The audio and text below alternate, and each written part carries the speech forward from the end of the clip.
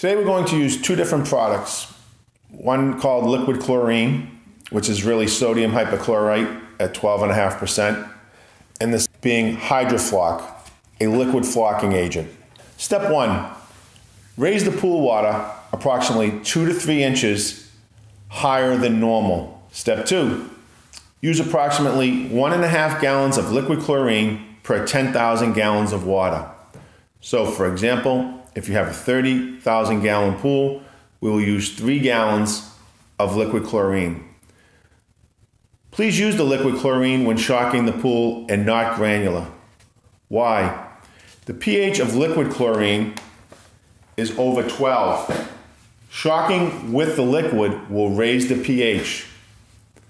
This means the water is less soluble and the cloud will be released from solution and fall to the pool bottom once we add the Hydrofloc. Step three, liquid Hydrofloc. How do we use it? We add one quart per 30,000 gallons of pool water. Add the product, the liquid floc, one half hour after shocking the pool water. Spray the entire quart across the pool surface as evenly as possible. Step four, run the pool filter for two hours only. So at this point, you've added the in our example, three gallons of liquid shock and one quart of Hydrofloc. After two hours, we shut the pump off.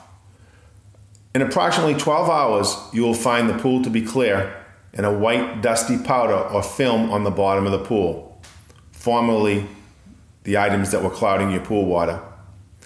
Finally, step five, vac the pool to waste using the waste position on the multi-port valve. This way, you will actually pump the debris out of the pool and bypass the filter tank.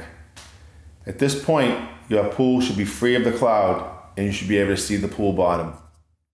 I hope you enjoyed that video. Please rate, like, share, and subscribe if you haven't already, or click the bell notification to ensure that you're receiving our most updated content. And as always, thanks for watching.